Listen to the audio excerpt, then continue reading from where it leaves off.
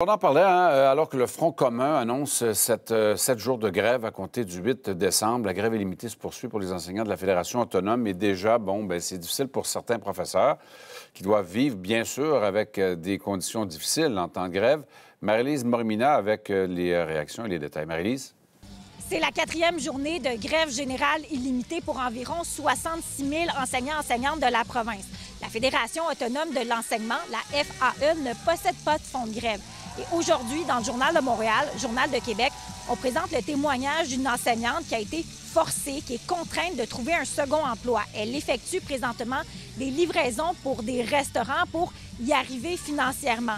Si la grève générale illimitée devait se poursuivre, on sent que ça pourrait être difficile pour plusieurs enseignants. C'est sûr que c'est stressant, puis il faut serrer la ceinture puis faire des sacrifices pour obtenir des meilleures conditions, là, on n'a pas le choix. Moi, j'ai déjà une deuxième job. Donc, déjà, avec ma, mon travail d'enseignante, j'ai un travail de serveuse. Euh, donc, euh, c'est notre réalité. C'est sûr qu'on va essayer de se trouver des petits euh, jobs après, mais on va piqueter tout le long. Ça, c'est sûr. Moi, je suis solidaire jusqu'à la fin. On va être là notre 3h30. On va s'organiser. Noël va être différent cette année. Le, le Black Friday est différent cette année aussi.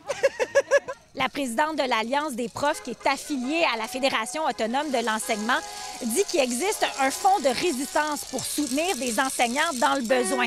Mais elle n'a pas voulu divulguer la somme d'argent qui est dans le coffre. On sent qu'on a démarré un mouvement. Donc, euh, les profs sont déterminés à Montréal, mais on voit que les profs ailleurs au Québec aussi voient comment ça se passe, comment ça se passe à la FAE. On voit les profs qui sont dans la rue et visiblement, bien, ça a un effet de contagion.